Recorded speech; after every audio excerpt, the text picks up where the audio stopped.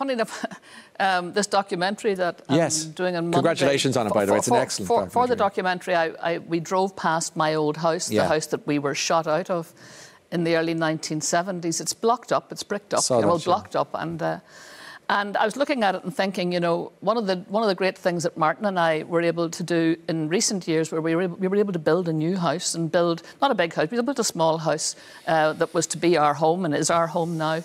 And there's something wonderful about being able to build a house from the ground up your way you know, incorporating all the things that you've seen that work and getting rid of all the things that didn't work in previous houses. We never had lived in a house that we'd built before.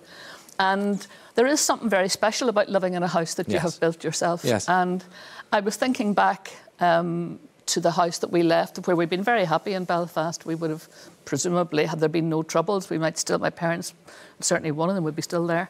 But, um, uh, I you know, the United Ireland, the opportunity to have um, the, the, opportunity to build a new house for all of us, yes. um, I think is how we should begin to frame it rather than a righting of old wrongs or wrap the green flag round me.